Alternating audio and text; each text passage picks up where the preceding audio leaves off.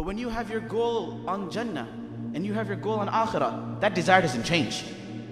That hoor will always be more beautiful than you can ever think of. That's not gonna change. That's never, you know, there was a guy who was with his wife, and she said, You know what?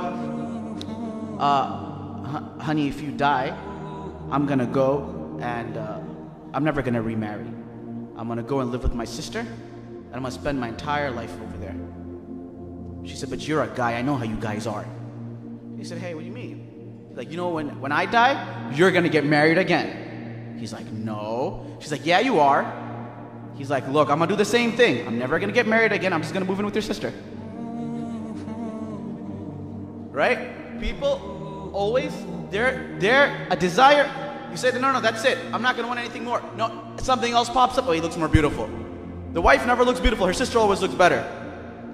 The girl never looks nice, her friends look nicer now. This is the re- real talk. Real.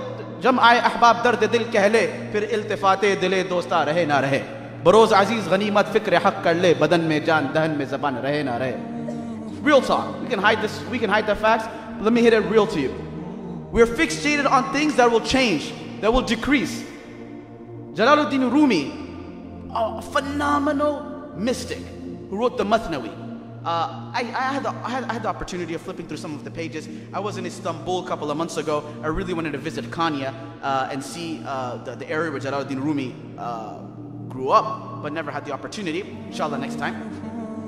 He writes in his Mathnawi, an hypothetical story. So don't think of it like, you know, it's something that uh, actually took place. It's a hypothetical story. And they do these things to drive a point across. He said there was this guy, right? Mashallah, he, run the, he ran this like scholarly place where people got there and they got better, you know? Like a spiritual retreat. So this brother comes there to get good. And then, you know, he had brothers and girls there as well. So there was this sister, you know, her responsibility, you know, she had no other parents, no one else. Her job was to serve the food.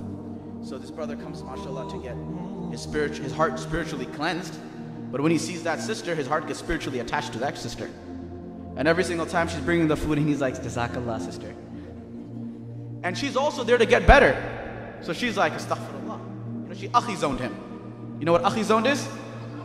It's one step past friend zoned. If you're a friend zoned, 10 years later, you can still, there's still a chance. If she calls you akhi, bro, done. It's not happening. Get the hint. So she's like, no, no, no, you know, it's, it's he says, okay, whatever. You know, a couple of days went by, he keeps on checking her out. You know, oh, can I get one more right, one more spoon raita, please? Mishti? I learned like five words of uh, Bengali when I was there. And I used to use Urdu throughout the whole thing. But, um, so she gets upset. You know, she goes and tells the teacher, she says, you know what, Sheikh, you need to expel this kid. This guy didn't come to get spiritually better. He's hitting on me.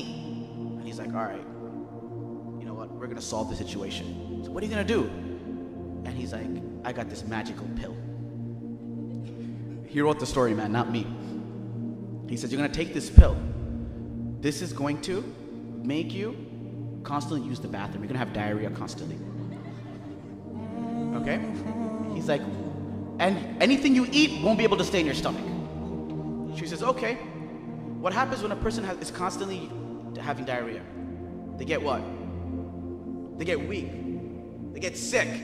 Their face starts sinking in. So now this girl, she's whatever she's eating, she's it's not staying in, and her her hair is getting wispy and her skin is deteriorating. And she's and he says, whenever you like I said, I didn't write the story, the guy did. He said, whenever you use the bathroom, obviously it's back in the day, they didn't have flushes, he's like, keep it in one area. So she said, okay, that's what she would do. After a couple of weeks, this guy starts seeing the same girl who looked like Miss Konya, and all of a sudden, she's looking like she got slapped in the face with Kanya. Right? Not Kanye West. Kanye is a place's name.